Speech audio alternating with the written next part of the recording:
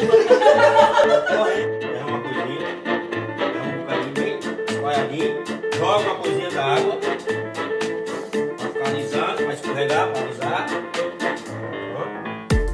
Pronto. Tá feita a sua esteira. Só isso. Como é que você vai fazer o exercício? Assim, ó. Aí. Faz o exercício. Meia horinha, né? barriguinha assim. Barriguinha, não precisa se. Pode aumentar a velocidade se você quiser. Você aperta aqui o botão. Vai aumentando a velocidade. Vai aumentando. Quanto mais você apertar, mais você. Correndo.